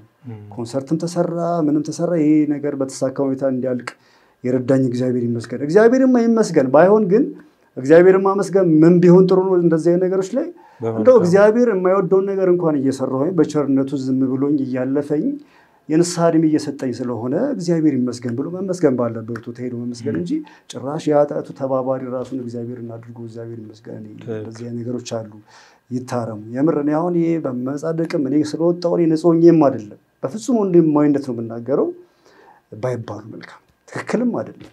እናስበው እስኪ እናስበው እና የማይካድ እኮ ነው። እኔ ስላልኩት ሳይሆን መጽሐፍ ቅዱስ ላይ አለ። እግዚአብሔር አይወደውም። በምን ያህል ልክ ደግሞ እንደማይወደው የተጠቀሰበት ቃል ራሱ ምን ያህል ከባድ እንደሆነ የምናውቀው ነው። የማናውቀው ነው እንኖራለን ብዬ አልገምትም። ግን ራሳችን መሸንግል ነው እና እናስብበት። ራሱን ለኃጢአቱ ይህን ኃጢአት አትስራ ያለውን እግዚአብሔር ይህን አመሰግናለሁ ብሎ ራሱን ተባባሪ እንደማድረግ ትንሽ ይከብዳል። እንደዚህ ነገሮች ብዙ አሉና ይቅርታ ግን ያው መንገድ ስላለብኝ አይ ትክክል ትክክል ነው። አይምሮ ላይ ሁሌ ለእኔም ጥያቄ የሆነብኝን ነገር ነው ያነሳው። በተለይ ትላልቅ አርቲስቶች የተለያዩ ዘፈን ምናምን ሰርተው interview ሲደረጉ እንደዚህ አይነት አማርኛዎች ሲናገሩ በጣም ይገርመኝ ነበር። የዋህነታቸውም ነው ብዬ ስለማስብ ያው ምንም ማድረግ አይቻልም እና እናልፈዋለን። እስኪ እንደው አሁን ዘፈኑን አቆምክ፣ ወደ ዝማሬ አገልግሎት መጣ። በዝማሬ አገልግሎት ውስጥ አንድ ሁለት ስራዎች ሰርተ ለቃል በማህቶ ዩቲዩብ ላይ እና ከዛ በኋላ ያለው ሰላም የህይወትህ እንዴት ነው? ጥሩ ነው ወይ? በፊት የነበረው የአእምሮ ጥያቄ መታወክ ምናምን አለ? በኢኮኖሚ በስጋዊ ህይወትስ? አንዳንድ ሰዎች ከዘፈን ከወጣው ህይወቴ ይበላሻል፣ ህይወቴ ይጨልምብኛል፣ በኢኮኖሚ ይጎዳለሁ ብለውም ስለሚያስቡ እስኪ አንተ ምን ላይ ነህ? እግዚአብሔር ይመስገን። አዎ ከምንም በላይ ያለኝ ሰላምና ያለኝ የህሊና እረፍት በቃላት ሊገለጽ የሚችል አይደለም። የምር በጣም ውስጤ አርፏል። ከህሊኔ ጋር አልጨቃጨቅም። መቼም እግዚአብሔር እድሜ ሲሰጥ ለንስሐ ነው እና በተሰጠን እድሜ ደግሞ ቶሎ ነቅተን ንስሐ መግባት መመለስን የመሰለ ነገር የለም እና ያን በማድረጌ በጣም ደስተኛ ነኝ፣ ልነግርህ ከምችለው በላይ እና ደግሞ የሰው ልጅ በሮጠ በለፋ ብዙ ባገኝ አይደለም ምንድን ነው አንድ የሚባል አባባል አለ። ጥቂት ያለውም አያንሰውም፣ ብዙም ያለው አይተርፎም። እና እግዚአብሔር ይመስገን ከምንም በላይ የህሊና እርካታ ያለኝ ሰላም ልነግር አልችልም። በጣም ደስተኛ ነኝ። ሌላውን ደግሞ እግዚአብሔር እኔ እውነቱን ለመናገር እንደነገርኩ አስብ ነበር እንጂ ምንም ነገር አዘጋጅቼ ለስጋዊ ፍላጎቴ ወይ ለስጋዊ ኑሮዬ እንዴት እኖራለሁ ምናምን በመጨነቅ እሺ ከዚህ ህይወት በውጣስ ምናምን ነገር አስቤ ተጨንቄ አይደለም የወጣሁት። ነገን እግዚአብሔር እንደሚያሳምረው በጎ እንደሚያደርገው አምናለሁ። እንኳንስ በመንገዱ ሄጄ እንኳንስ በሚፈልገው ነገር ሄጄ ይቅርና በኃጢአቱም ዓለም በልቼ ጠጥቼ የሚያስፈልገኝ ነገር አግቼ ኖሬያለሁ። ስለዚህ ምኑንም ነገር አላጣውም፣ እግዚአብሔር ይመስገን። ግን አሁን ከዛ ህይወት ከወጣሁ በኋላ በዚህ ልክ ይህን ያህል እንዲህ ራሴን ለማኖር ያሰብኩት የሄድኩበት የጀመርኩት ስራ የለም። እስኪ በረከት ይቅደም። መጀመሪያ በዚሁ እንትኔ እግዚአብሔርን ላመስግን። እስኪ መንፈሳዊ ዝማሬዎችን በመስራት ራሴንም መንፈሴንም ላድስ፣ እግዚአብሔርን ላመስግነው። ያደረገልኝ ነገር ቀላል ነገር አይደለም። ከዚያ ህይወት ውስጥ በቀላሉ የምትወጣው ነገር አይደለም። በቸርነቱ በምሕረቱ እጄን ይዞ አወጣኝ።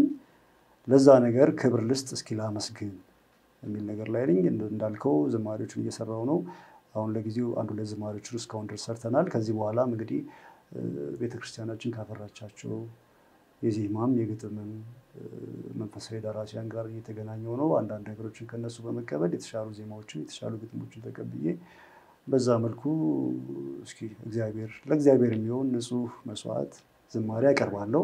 ሌላውን ደግሞ እግዚአብሔር በፈቀደው ለመኖር የሚያስፈልገኝን ነገር ደግሞ ስራ ከእግዚአብሔር ጋር ያበታለሁ። ለጊዜው ግን ያው ብዙ የሚያስቡበት ነገር የለም፣ ይቀጥላል። መልካም። እስኪ አንተ በዚህ ሰላማዊ ህይወት ውስጥ እየኖርክ ከሆነ ልክ እንዳንተ ቀደም ሲል በዘፈን ህይወት ውስጥ ስትኖር እንደታወቀው ሁሉ አሁንም እየታወቁ ለሚኖሩ ልውጣ ልውጣ ብለው እያመነቱ ላሉ ዘፋኞች ወይንም ደግሞ እንደ አጠቃላይ በዘፈን ህይወት ውስጥ ላሉ ሁሉም ዘፋኞች ወይንም ደግሞ በተለይ በኦርቶዶክስ ተዋሕዶ ሃይማኖት ውስጥ ያሉ ያው ቤተክርስቲያናችን እንደ ቤተክርስቲያን ልጅነት ነው የምንናገረው እና በኢትዮጵያ ኦርቶዶክስ ተዋሕዶ ቤተክርስቲያን ውስጥ ያሉ ዘፋኞች ከዘፈን ወጥቶ ህይወት መኖር እንደሚቀጥል የሰው ልጅ በዘፈን ብቻ መኖር እንደማይችል ፈጣሪውን እያመሰገነ ከዘፈኑ ርቆ በሌላ ህይወትን መኖር እንደሚቻል ይህንንም አንድ ላይ አድርገህ እስኪ መልእክት አስተላልፍላቸው። በጣም ጥሩ። ምንድን ነው እግዚአብሔር ያኖራል፣ እግዚአብሔር ይችላል። መጀመሪያ ነገር ማሰብ ያለብን እሱ ነው። ቅድም እንደነገርኩ ነው። እዛ ጋ እኮ በጣም ብዙ የሚባል ጥቅም ታገኛለህ። ይባረካሉ ነው የመጣው ነገር እንደውም ጭራሽ አንተን ህይወትን የሚበጠብጥ ህይወትን የሚያመሳቅል ወደ ሱስ ወደ አላስፈላጊ ነገር የሚጋብዝህ ገንዘብ ነው እዛ ጋር የሚገኘው እኔ እስካሁን ድረስ እንደገባኝና እንዳየሁት ከሆነ እና ያ ከሚሆን እንደው ለምን አንተ በእግዚአብሔር መንገድ ሆነህ እግዚአብሔር በወደደው መንገድ እየሄድክ እየኖርክ የተባረከውን ትንሽ ነገር አግኝተህ መኖር ይሻላል። በጥቅም ደረጃ ካሰብከው እዛ ጋር የሚረጨው ብር እዛ ጋር ያለው ነገር ያማልልሃል።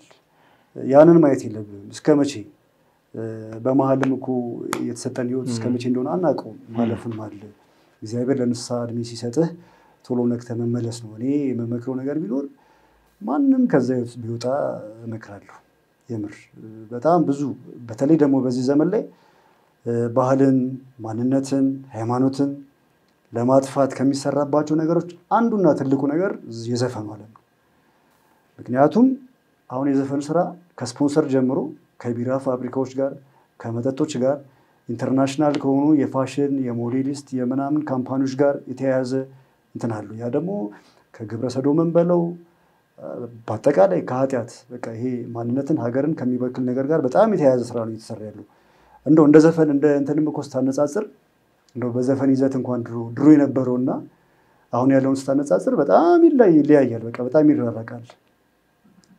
even እስካሁን ድረስ እንደው ሀገርን እንድንወድ የሚያደርጉን ዘፈን ዘፈን ኃጢአት ነው እሱ አሁን እዛ ጋር ምንም እንትን የለውም። ግን እንደው ንጽጽር ውስጥ እንኳን ልግባ ብትል ድሮ አሁን ስንሰማቸው ሀገር እንድንወድ የሚያደርጉን ምናምን በጣም ብዙ ዘፈኖች አሉ ከይዘት አንጻር እንኳን ካየው። አሁን ላይ ያለው ነገር ግን እንደዛ አይደለም። የምር especially አሁን በእኛ ትውልድ ያሉት ወጣቶቹ ይሄ አሉ የምናውቃቸው አንድ style መጥቷል። አሁን ግር ብሎ የመጣ የዘፈን እንትን አለ። ይሄ ከፀጉሩ አቆራረጥ ጀምሮ ካለባበስ skinny ለብሰ በቃ እንደዛ መሆን ከቻልክ ዘፋኝ ነህ የሚያስብል አይነት ነገር አለ። እንደ ማዕበል የመጣ እንትን አለ እዛ ጋር በጣም ትልቅ ይሄ አሁን ይሄኛውን ይሄ ከ18 ዓመት በታች ያለውን ይሄ በተለይ ታዳጊው እድሜ ላይ ያለውን ለማጥፋት ብዙ ብዙ ነገር ነው አስተዋጽኦ የሚያደርገው ያ ጀኔሬሽን። ምንም አሁን እንደ ሀገር እንኳን ስታየው የድሮ ኢትዮጵያዊነትን ታይባቸው የነበሩ ዘፋኞች አሉ። ማህበራዊ ጉዳዮችን ያነሳሉ። እንደነገርኩ እኔ አሁን እንትን ለማለት አይደለም፣ ዘፈን ዘፈን ነው በቃ ኃጢአት ነው። ግን እንደው እንደ እንትን እንኳን ጥቅም እንኳን አለው ብለህ ካሰብክ ስለ ማህበራዊ ጉዳይ፣ ስለ ሀገር፣ ስለ ምናምን የነበረው ከገጽታ ጀምሮ ኢትዮጵያዊነትን፣ ማንነትን፣ ባህልን ያለቀቀ ነበር በፊት። አሁን ግን ሙሉ ለሙሉ ወደ ምዕራባውያን የሄደ ነገር ነው። በቃ የሆነ ቦይ ተቀዷል። ሁሉም በዛ ነው እየፈሰሰ ያለው። ያ ደግሞ ምን ያህል ሀገርን፣ ማንነትን፣ ባህልን እየበከለ እንደሆነ በጣም በአይን የምናየው ነገር ነው እና ቢቀር እላለሁ ባጭሩ ቢቀር ባትገቡ ብትመለሱ የሆነ አሁን ላይ ነው የሚያጓጓ እንደው ጥሩ የሚመስል እንጂ የሆነ ሰዓት ላይ እድሜ እየገፋ እየበሰልክ ወይ ደግሞ እንደው የሆነ ነገር ማስተዋል ልቦና እየገዛ ስትመጣ ምንም ጥቅም የሌለው ነገር እንደሆነ ይገባል እና እንደው ትውልድንም ለመበከል ለመመረዝም እየተጠቀሙበት ያለው አካሄድ ስለሆነ ቢቀር ብናስተውል። አገር ይኸው እንደምናየው ነው የኛው ነች። አገር እየጠጣ ሰው አሁን ከሱ የሚጠበቀውን አስተዋጽኦ ሳያደርግ እየጠጣም የሚሰክረው ለብርጭቆ ሶስት ብርጭቆ አይቀንስም ከነበረው ነገር ላይ እየሰከረ እየሰከርኩ ነውና ሁለት ሶስት ብርጭቆ ልቀንስ እኔም አይልም። እየሄደ ነው በዛው እንትኑ ግን እቺ ሀገር ወዴት እየሄደች ነው ይላል። እቺ ሀገርማ እኛ ወደ እየሄድንበት ወዳለንበት ነው እየሄደች ያለችው። የኛው ስራ የኛው እንትን ነው የኛው ኃጢአት ነው ዳፋው ነው እየታየ ያለው እና በአጠቃላይ ዘፈን የሚባል ነገር ቢቀር ቢወጡ ቢመለሱ እላለሁ። መልካም እንትንም ትሰራ ነበረ፣ ማስታወቂያም ትሰራ ነበረ። አዎ የማስታወቂያ ስራዎችንም እንሰራ ነበር። ያው ከምንጩ ውሃ ግን ቆራጩ የገበታው ግርማ ሞገስ አዲስ ያየኸው አለ አይደለ? የተወሰኑ የሬዲዮ ማስታወቂያዎችን ሰራ ነበረ። አልቆጭበትም እሱ የምር አሁን ቅድም የዘፈን ታሪኬን እንደሚያኮራ ታሪክም አላየውም ብያለሁ አይደለ? የምር ባይኖረኝ ደስ ይለኛል፣ ግን አንድ ሆኗል። አንድ የህይወት ታሪክ ነው ያለፈ ነው በቃ። ግን የማስታወቂያው ግን ምንም ውሃ ነው ማስታወቂያ እኮ አሁንም መስራት ትችላለህ። አይመስለኝም። እኔ ከዘፈን ጋር ነው ማያይዘው። ምክንያቱም ያው የምትሰራው ዘፈን ስቱዲዮ ውስጥ ሄደ ነው የምትሰራው። ያሉት የሙዚቃ መሳሪያዎች ናቸው። ገባ እዛ ጋር የሚያጅብህ ማለት አሁን የምታስተዋውቀው product ወይንም ደግሞ ያ የምታስተዋውቀው ነገር ወሳኝነት አለው። የምታስተዋውቃቸው ለምሳሌ ውሃ ከሆነ ከሙዚቃ መሳሪያ ጋር የማይገናኝ ነገር ይመስለኛል። ለምን አንደኛ የአንተ እንትን ነው ትወና የምታስተዋውቅበት መንገድ ነው የሚወስነው። ሁለተኛ ደግሞ የምታስተዋውቀው ለማህበረሰቡ የሚጠቅም ከሆነ ኃጢአትም ነው ኃጢአትም አይደለም የማይባል ማህበረሰቡን ሁሉም ሰው አማኙም አማኝ ያልሆነውም የሚጠቀመው አይነት ምርት ከሆነ እንደ ሀገር ነው የምትሰራው። ይሄ ማስታወቂያው ከዘፈኑ ጋር ብዙም የሚቀራረብ አይመስለኝም። እንዳልኩ የምታስተዋውቀውን መምረጥ ነው። የምታስተዋውቀው ወደ ኃጢአት የሚመራ ነው ወይንስ ማህበረሰቡን የሚጠቅም ነው የሚለውን ብቻ መረጥ እንጂ እኔ ልዩ እንትን ያለው አይመስለኝም። እንዳልከው በእርግጥ ያው ጽድቅም ኃጢአትም ላይሆን ይችላል። እንደነገርኩህ ያው ዘፈን ግን እኔ እንዳልኩ የምትሰራው ያው ሙዚቃ የሚሰራበት ስቱዲዮ ሄደ ነው። የሙዚቃ መሳሪያዎች አብዛኛውን እኔ አሁን የምሰራውን የሰሯቸውን ካየህ አኳ አዲስ የሚለው አሁን almost ሙዚቃ ነው ይመስለው። በቃ ምንም rhythm አለው። አዲስ ውሃን አንተ አዎ፣ ጥርት ኩልል ያለ ከምንጩ ዋጥን ቆራጩ የገበታው ግርማ ሞገስ አኳ አዲስ የሚለውን እኔ ነኝ የዘፈንኩት አሁን እሱ ስራ ነው እና ምንም ሙዚቃ ነው አሁን እሱ? ዞሮ ዞሮ የሙዚቃ እንትን አለው ነው የምልህ። በሙዚቃ ነው የሚዋዛው፣ በሙዚቃ ነው የሚዋሃደው። እና አልሸሹም ዞር አሉ እንዳይሆንብኝ ነው። አይ ከእንደዚህ አይነቶቹ ራቅ ራቅ ብለህ በአፍ በመልእክት የሚተላለፉ ማስታወቂያዎች አሉ አይደል? ከዚህ ከሙዚቃው ማጀቢያነት ወጣ ብለው በትወና ወይ በፊልም ዓለም እንደምናያቸው አለ አይደል? በዛ መንገድ የሚሰሩ ማስታወቂያዎችን መስራት ትችላለህ። ሊሆን ይችላል። እንደዛ ያስኬዳል። እንደዛ መስራት ትችላለህ። መልካም እንግዲህ ጥሩ ቆይታ እንዳደረግን ተመልካቾቻችን ጥቅም ወይንም ደግሞ መልእክት እንዳገኙበት እምነት አለን። በስተመጨረሻ በዘፈኑ ውስጥ ስትኖርም ምናልባት ለአንተን ለመጥቀምም ብለውም ሊሆን ይችላል። ከዘፈን ውስጥ ከወጣ በኋላም በተለያየ መንገድ ብቻ በእኔ ህይወት ውስጥ ጥሩ ጎን አላቸው ወይንም ጥሩ ነገር አድርገውልኛል ብለህ የምታመሰግናቸው ካሉ እንዲሁም በስተመጨረሻ ይሄ ቀረኝ ይህን ማስተላለፍ ፈልጋለሁ የምትለው መልእክት ካለ? እሺ፣ በመጀመሪያ ያው እንግዲህ አሮጌ ህይወቴን ያለፈው ማንነቴን ሁሉ በምሕረቱ በቸርነቱ አሳልፎኝ ከዛ ህይወት ስለወጣኝ አምላኬ መድኃኒቴ ሁሉ እግዚአብሔር የተመሰገነ ይሁን። እንዲሁም ሁሌም እለምናታለሁ። ምልጃዋ እርዳታዋ አልተለየኝም። እናቱ እናቴ ቅድስት ድንግል ማርያም ትመስገንልኝ። እንደ ሰው ደግሞ ካሰብከው እግዚአብሔር ብዙ መልካም ሰዎችን ከጎኔ አድርጎልኛል። የምር እኔ እንዳልኩ ትንሽ የሆነ የአቋም ሰው ነኝ፣ የሚመስለኝን የምናገር ሰው ነኝ። እንደ ጓደኛም የምመች ሰው አይደለሁም እና ግን እንደዛም ሆኖ እኔ እንደ ጓደኛም ማልመች ሰው በሆንም በዙሪያዬ መልካም ሰዎች አሉ። በተለይ ስሙን መጥቀስም ባያስፈልግ እንደ ውዳሴ ከንቱም አይሆንበት እንግዲህ ከተገናኘን ከአስር ዓመት በላይ ነው። እስካሁን ያልተለያየ ነው። መልካም ጓደኛ ያለኝ ብዙ ደግም መጥፎም ጊዜ አሳልፈናል። ብዙ የማይረሱ ጥሩ ጊዜዎችን አሳልፈናልም አሁንም አለን እና ብዙ ብዙ ነገሮች በመካከላችን ብዙ የሚያስተሳስሩ ብዙ መልካም ነገሮች የማረሳቸው ነገሮች አሉ። ስሙን መጥቀስ አያስፈልግም። በአፍ ካለ በአፍ ከሚነገር በልብ ያለ ይበልጣል። እግዚአብሔር ያውቀዋል ስለ መልካምነቱ ስላለን መልካም ጓደኝነት እሱን በጣም አመሰግነዋለሁ። ብዙ ነገሮችን አብረን ብዙ ነገሮችን ተደጋግፈን ብዙ ነገሮችን እንደ ጓደኛ ተመካክረን ብዙ ነገሮችን አሳልፈናል። ስለዛ ስላደረገው ነገር ሁሉ ስለ መልካም ጓደኝነታችን እግዚአብሔር ይስጥልኝ። ማንነቱን ስለሚያውቀው ነው። ሌሎችም እንዲሁ እኔ ደካማ ነኝ እንዳልኩ ብዙም ለጓደኝነት አልመችም። እንደፈለግን እንዝናና እንጫወትን በሚባልበት ቦታ ላይ ብዙ ትንሽ እንትን ነኝ። ብዙ ጊዜ ከራሴ ጋር ማውራት ከራሴ ጋር መሆን ነው የሚቀናኝ እና በዛ ጉለቴ እንኳን ሆነው እንደዛ እንትን ያላሉኝ መልካም ሰዎች መልካም ጓደኞች አሉኝ። ሁሉንም እግዚአብሔር ያክብርልኝ። ደካማ ጎኔንም even ስልክ አልደውልም። የሚደውሉት እነሱ ናቸው። ይሄ የታወቀ ባህሪ ነው። ያን ሁሉ እንደ ጓደኛ እነሱ ናቸው እንትን የሚሉት እና ስለ ሁሉ ነገር እነሱም እግዚአብሔር ይስጥልኝ። በተረፈ በሙዚቃ ውስጥ በነበርኩበት ጊዜ ይጠቅመዋል ስራ ብለው መስራት አለብህ፣ ጥሩ ቦታ ትልቅ ቦታ መድረስ አለብህ ብለው በቅንነት ለእኔ መልካም ያስቡ የነበሮች የነበሩ ሰዎች አሉ። ሁሉንም አመሰግናችኋለሁ። ሁሉንም አመሰግናለሁ። የኔ የልቤ መሻት ያ ባይሆንም የነፍስ ጥሪ ያ ባይሆንም ዛሬ ከዛ ህይወት ቦታም ስለ እኔ የነበራቸው ከአስተያየት ጀምሮ እኔን ለመደገፍ እኔ ጥሩ ቦታ የተሻለ ቦታ ላይ ትልቅ ቦታ እንድደርስ ከመመኘት ጀምሮ ሲያደርጉ ስለነበረው መልካም ነገር ሁሉ ለእኔ ብዙ ብዙ ከ night club ባለቤቶች ጀምሮ ለእኔ ብዙዎቹ almost ሁሉም የሰራሁባቸው ቦታ ላይ ለእኔ ጥሩ ነገር ነው ያላቸው። በጸባይም በምንም ከኔ ጋር ጥሩ ነገር ነው የነበረን እና ስለ ሁሉ ነገር እስካሁን ድረስ በህይወቴ የነበሩት መልካም ሰዎች ሁሉ ስለ እነሱ ሁሉ እግዚአብሔርን አመሰግነዋለሁ። እነሱንም ክብር ይስጥልኝ ይላሉ። በተረፈ እናንተን ለሰው ያስተምራል ያለፈ ህይወቱን ቢነግር ሰው ይማርበታል፣ ከጥፋት ይመለስበታል፣ የማያውቀውን ያውቅበታል ብላችሁ አምናችሁ እንግዳ አድርጋችሁ ስለጋበዛችሁኝ ወንድሜ ሚኪያስን እንዲሁም ባልደረቦችን እጅግ በጣም አድርጌ አመሰግናለሁ። እኛም እናመሰግናለን። በእውነት ደግሞ ህይወቱም መልእክቱም አስተማሪ ነው። በሃይማኖት ውስጥ ላሉ ወይንም ደግሞ ከዚህ አንተ ከምትሰራበት ህይወት ውስጥ ያልወጡትን ብቻ ሳይሆን ውስጡ ያልገቡትንም ለመግባት ያሰቡትንም ለካ እንደዚህ አይነት ህይወት አለው ብለው ይማሩበታል ብለንም እናስባለን።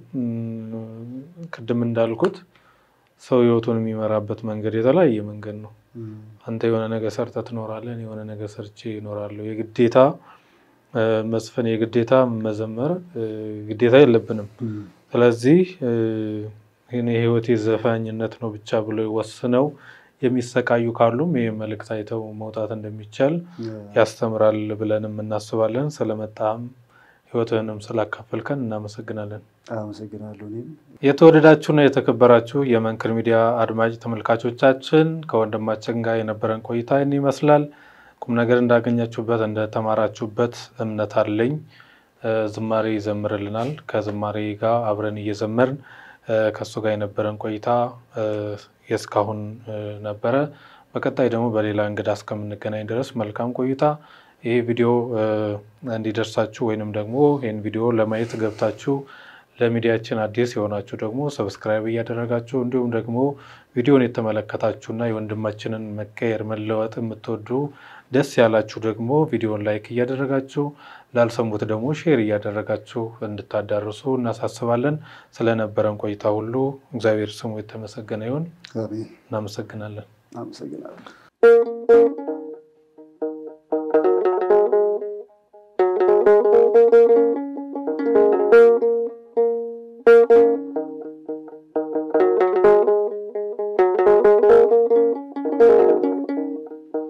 ኃጢአት በደሌን ትቼ በፍቅር ወደ እርሱ መጥቼ በእርባና እግሮቹን ባጠብኩት ብቻ ጌታዬን በካስኩት ብቻ ጌታዬን በካስኩት። ኃጢአት በደሌን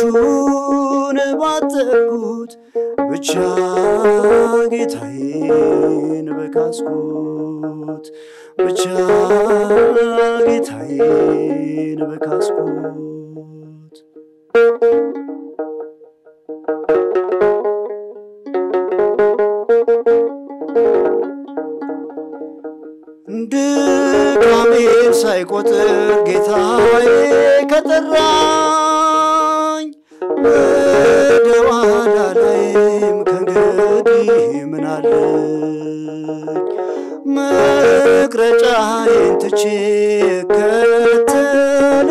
እከተለዋለሁ ከእርሱ ጋር አውዬ ከእርሱ ጋር አድራለሁ ኃጢአት በደሌን ትቼ በፍቅር ወደ እርሱ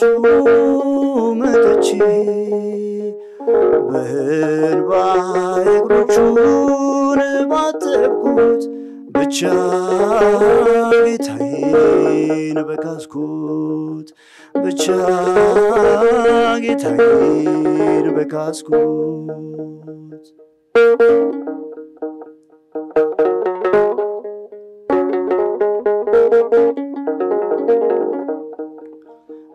ምሬሃለሁ ብሎ ካበዛልኝ ጸጋ? እለዋለሁ ቅዱስ ሲመሽም ሲነጋ ፍቅሩ በልቤ ላይ ስሙ ከአንደበቴ ዘወትር አይጠፋም እርሱ ነው ጉልበቴ። ኃጢአት በደሌን ትቼ በፍቅር እርሱ መጥቼ በእንባ እግሮቹን ባጠብኩት ብቻ ጌታዬን በካስኩት ብቻ ጌታዬን በካስኩት።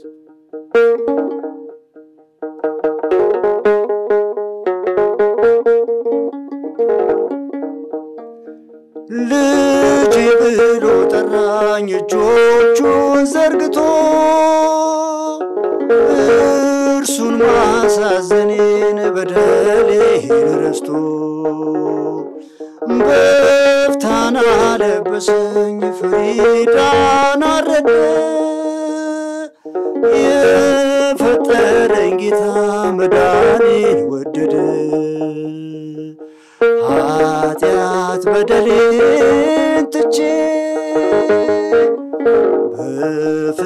በፍቅር ወደ እርሱ መጥቼ በእንባ እግሮቹን ባጠብኩት ብቻ ጌታዬን በካስኩት ብቻ ጌታዬን በካስኩት ብቻ ጌታዬን በካስኩት ብቻ ጌታዬን በካስኩት ልብስ መልበስ ታውቅበታለህ። አላውቅበትም። አለባበስ መምረጥ ችለሻል። አልችልም። ምን ሆናችኋል? አምሮብሃል፣ ችለሻል። እኛ አይደለንማ። እና ማን ነው? ፍቅር ዲዛይን ነው። ዱባይ ላይ ይገኛል። ስለ ሀበሻ ልብስ ይችላል። ፍቅር ዲዛይን መነን ሰፊ፣ ሽፎን ሰፊ፣ የእጅ ጠላፊ የሽመና ባለሙያዎችና ዲዛይነሮች ዱባይ ገብተዋል። ከት ታትመዋል። ስትለብሺ ካማረብሽ ስትለብስ ካሳመረ እሱ ፍቅር ዲዛይን ነው ዱባይ። የሽያጭ ሰራተኞቻችን ዱባይ ላይ የእናንተን ትዕዛዝ ያስተናግዳሉ። ከመላው ዓለም የሀበሻ ልብስና ሽፎን ቢያዙ በሰባት ቀን እጆ ይገባል። ቢሰፋው ወይ ቢጠቦ ተስተካክሎ በሰባት ቀን ውስጥ በልኮ ይደርሶታል። ዱባይ ለምትኖሩ ሱቃችን ቢመጡ ሽፎን በአንድ ሰዓት ኦንላይን ቢያዙ በነፃ delivery በ16 ሰዓት። የሀበሻ ቀሚስ በሶስት ቀን።